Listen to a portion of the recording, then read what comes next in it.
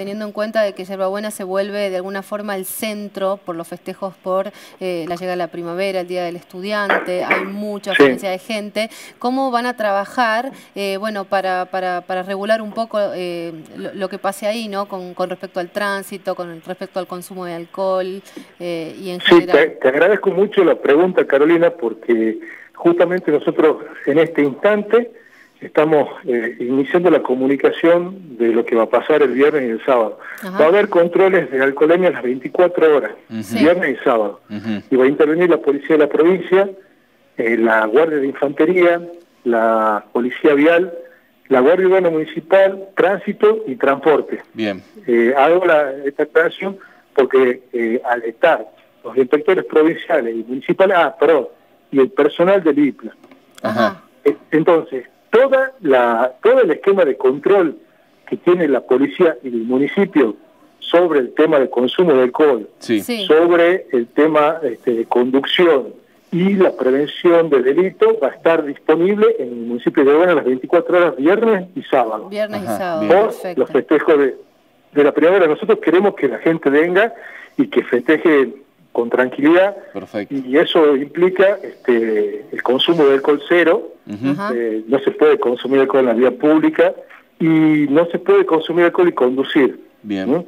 Sí se puede consumir alcohol y no conducir, eh, pero va a estar con, con, controles, con distintos controles, nosotros siempre estamos trabajando entre cuatro y siete puntos de control y esos puntos se van trasladando tanto por las principales avenidas eh, como por las calles internas. Entonces, lo que queremos hacer, eh, lo que queremos lograr es que, que los chicos vengan, se diviertan sanamente, que no se consuma alcohol en, la, en los lugares públicos como la rotonda, como las plazas, eh, y que la familia esté tranquila, que nada le va a pasar. También se han coordinado acciones con eh, los guardaparques de la universidad, ah, porque hay tradición de, de ascender por, por las cortadas, que como se solía llamar, este, al cerro para que para evitar, digamos, eh, que la gente entre después de un determinado horario. Y también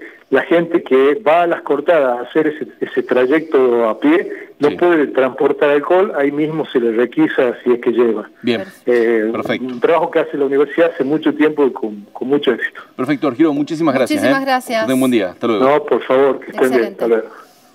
Bueno, ahí está, ¿eh? atención con esos controles, viernes y sábado, seguramente, bueno, muchos chicos van a, van a festejar el Día del Estudiante, así que hay que tener cuidado ahí porque va a haber muchos controles por parte del de, eh, municipio de Yerbabuena y buen dato esto de eh, lo que va a pasar con Orcomolle y cómo van a trabajar con la Universidad Nacional de Tucumán. No se puede llevar alcohol quienes ingresen a cada uno de esos senderos este, y obviamente la recomendación de siempre, ¿no? Si van a andar en auto, si van a circular en vehículos, tomar. alcohol cero, ¿eh?